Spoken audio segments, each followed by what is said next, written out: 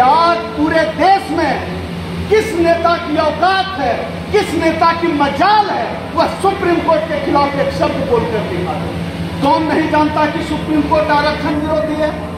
अगर हमने ईमानदारी से काम किया होता तो भी दलित, दूल्हा, घोड़ा चढ़ जाता है तो पीट पीट कर हत्या कर देते हैं। क्या कारण? है बेईमानी तो की ना हम लोगों ने बेईमान तो हुए जातिवादी खुद हुए, जाति के नाम पर नेता चुनते रहे, जय भीम का नारा लगाते रहे, कहते रहे कि यही अंबेडकर बात है इसके आड़ में क्या हो गया? इसके आड़ में हुआ यह कि मोदी और भागवत ने देश को बेच दिया। आपको क्या लगता है, विकास के लिए बेच रहे हैं? या अडानी का कर्जा चुका रहे हैं? नहीं भाइयों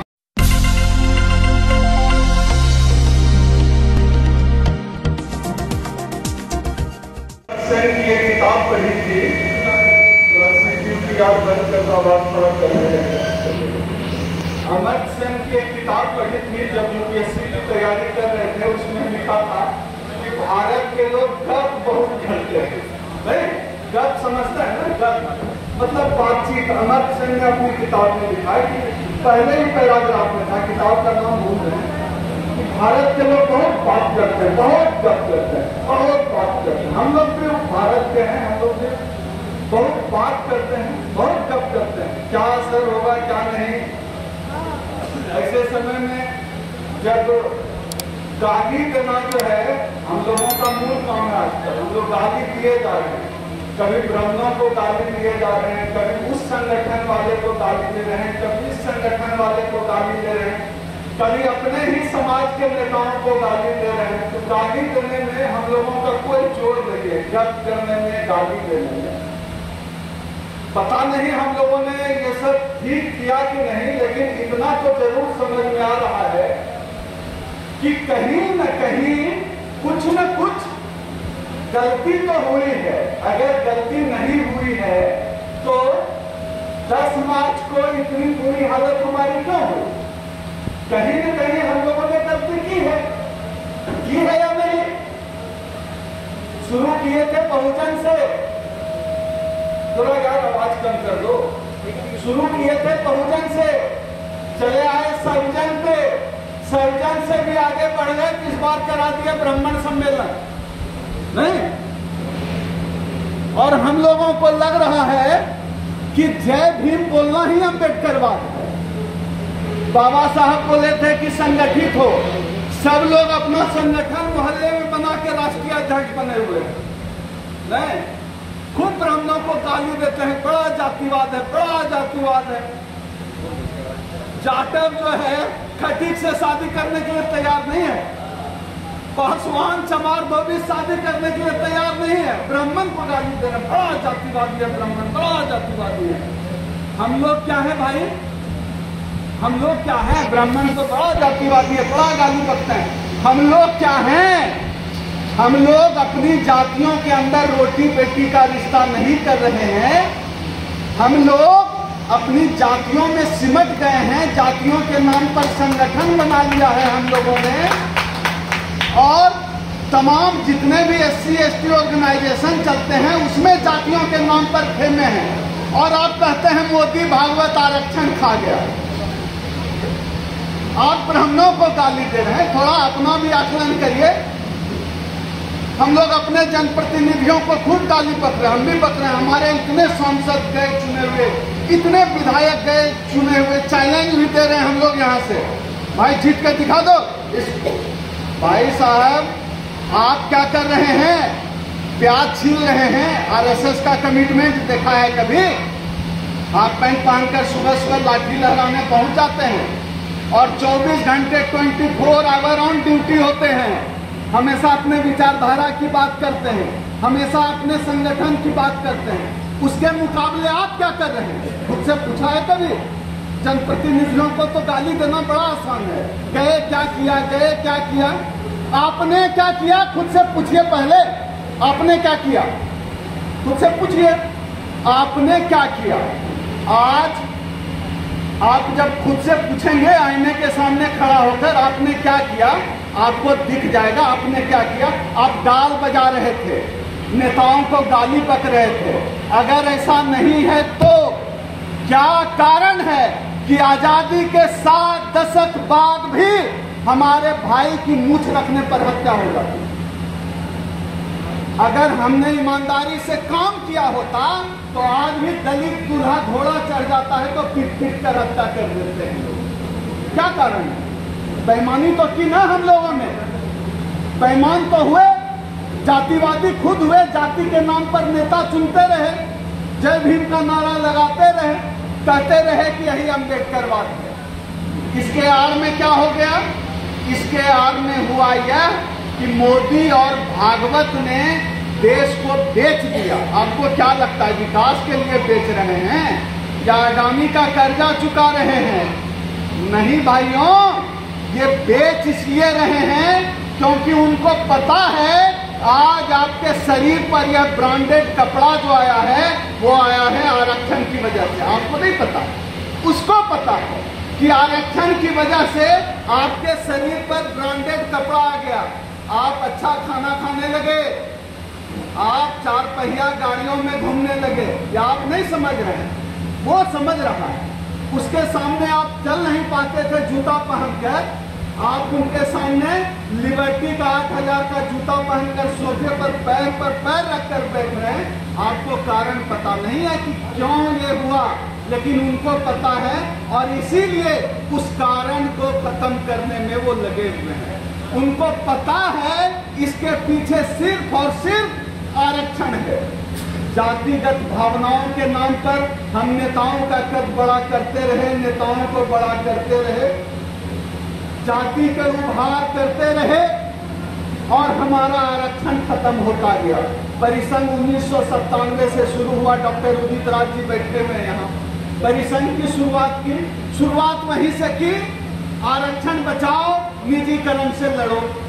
2022 हो गया 26 27 साल हो गया। आप भावनाओं के आधार पर जाति के आधार पर राजनीति करते हुए, अपने नेताओं को बढ़ाते हुए वहीं पहुँच गए जहाँ से चले थे, जहाँ की शुरुआत परिसंघ ने की थी, जिसकी शुरुआत डॉक्टर विदित राज जी ने की थी। अब बताइए, जातिगत भावना बढ़ाते हुए अपने जाति के इतने बड़े बड़े नेता तो बनाए, लेकिन जब आज निजीकरण हो रहा है, जब आरक्षण समाप्त हो रहा है, कोई क्यों नहीं बोल रहा है, कोई क्यों नहीं बोल रही है? सीबीआई का डर है, ईडी का डर है। हम जब अपनी बात यहाँ इतनी मजबूती से कहते हैं, हम इसलिए कह पाते हैं क्योंकि हमारे नेता ने, हमारे राष्ट्रीय अध्यक्ष ने वह कुर्बानी दी है कि हम समाज के सामने सीना तान कर करें। मुझे याद है कि जब एक बार आरक्षण बचाने के लिए प्रोटेस्ट की बात हुई थी तो गृह मंत्रालय से नोटिस आया, आप ये आरक्षण आरक्षण का चक्कर छोड़ दीजिए, शांत बैठे रहिए। बोर्ड का चेयर, कमीशन का चेयरमैन भी बनाएँगे और आपको उचित सम्मान भी मिलेगा, सम्मान। और उस सम्मान की कीमत थी हमारे समाज के आत्मसम्मान का अपमान हमारे राष्ट्रीय अध्यक्ष जी ने कहा, जो उखाड़ना है, उखाड़ लो। आरक्षण बचाने की लड़ाई हम लड़ते रहेंगे। हम आरक्षण बचाने की लड़ाई लड़ने गए। उधर से खबर आई कि 2005 से तो सिक्योरिटी मिनिस्ट्री छीनी और बड़ा चैलेंज ले लिया। कहा, इस बार संसद मार्च करेंगे आरक्षण बचाने के लिए अगले सप्ताह। संसद बचाने के लिए हम लोग मंडी हाउस से आरक्षण बचाने के लिए मार्च कर रहे हैं। संसद मार्च तक उधर घर से सारा सामान निकाल कर क्या यह समाज इसका मूल्यांकन आज करेगा? मैं इस समाज से खुलकर पूछता हूँ। साथियों जब हम अपने नेता की निर्भीकता की बात करते हैं तो मैं वह घटना भी सुनाना चाहता हूँ कि आज पूरे देश में किस नेता की औकात है, किस नेता की मजाल है, वह सुप्रीम कोर्ट के खिलाफ एक शब्द बोलकर दिखा दे। कौन नहीं जानता कि सुप्रीम कोर्ट आरक्षण विरोधी है? कौन नहीं जानता कि सुप्रीम कोर्ट जातिवादी है? यहाँ तो सीबीआई ईडी के डर से ही लोगों का पतलून गिरा हुआ पड़ा है। हमारे नेता सुप्रीम कोर्ट के सामने जाकर कहते हैं, सुप्रीम कोर्ट जातिवादी है, सुप्रीम कोर्ट मुर्दाबाद। यह कहने की हिम्मत किस नेता में? साथियों, समस्या तो सबको पता है। सबको पता है। हम सब लोग जागरूक लोग हैं, तभी यहाँ बैठे हुए लेकिन जब तक समाधान की बात न हो तो हमारे साथी गौरव जी ने हमारे साथी श्रीकांत जी ने, हमारे तेज तगार साथी शैलजा जी ने जो मेहनत की है, मुझे लगता है कि अगर एक संवाद करके हम एक निष्कर्ष की ओर ना जा पाए तो वह मेहनत उनका बेकार चला जाएगा। साथियों 10 मार्च के बाद सब निराश हुए। लेकिन उस निराशा के बाद एक उम्मीद की लकीर हम सबको पकड़नी पड़ेगी। मुझे व्यक्तिगत तौर पर लगता है, और शायद यह सभा भी मुझसे सहमत होगी कि हम सबको एक नए विकल्प की तलाश करनी पड़ेगी। एक नए सामाजिक, राजनीतिक विकल्प पर बात करनी पड़ेगी। नए आइडिया पर काम करना पड़ेगा। तो मैं इस सभा में प्रस्ताव रखता हूँ कि क्या उन्नीस सौ सत्तानवे में जो प्रस्ताव डॉक्टर उदित राज जी का था, जो प्रस्ताव अखिल भारतीय परिसंघ का था, आरक्षण बचाने का प्रस्ताव, निजीकरण के खिलाफ लड़ने का प्रस्ताव आज भी वह प्रस्ताव नया नहीं है। आज भी क्या हमको आरक्षण बचाने के लिए संघर्ष करने की ज़रूरत नहीं है? क्या आज भी हमें एक साथ मिलकर, चाहे झंडा किसी का हो, डंडा किसी का हो, हमारे राष्ट्रीय अध्यक्ष जी बार बार कहते हैं, अपना झंडा लेकर आओ, अपना डंडा लेकर आओ। आरक्षण सिर्फ़ डॉक्टर उदित राज के लिए नहीं है। आरक्षण का फ़ायदा सिर्फ़ परिसंघ के साथियों को नहीं मिलेगा। एक और बात, आरक्षण की लड़ाई देहरादून में भी नहीं लड़ी जाएगी नहीं जीती जाएगी। आरक्षण की लड़ाई दिल्ली में लड़ी जाएगी और वहीं से जीती जाएगी, क्योंकि जब दिल्ली बोलती है, तभी दुनिया सुनती है। आज की तारीख में हम 22 से 24 स्टेट में हमारा संगठन पूरी मजबूती के साथ आरक्षण बचाने की लड़ाई लड़ रहा है निजीकरण के खिलाफ लड़ाई लड़ रहा है। साथियों, मैं आप सबसे अपील करने आया हूँ कि हमारे पास समस्या नहीं, समाधान है। जो 10 मार्च के बाद जो निर्वात हुआ है, आइए नई राजनीति की बात करें, नए सामाजिक आंदोलन की बात करें, नए आइडिया की बात करें। हमारे राष्ट्रीय अध्यक्ष जी ने अभी एक महीने पहले कहा कि देश भर में खास तौर पे दलितों में काफ़ी निराशा है 10 मार्च के बाद।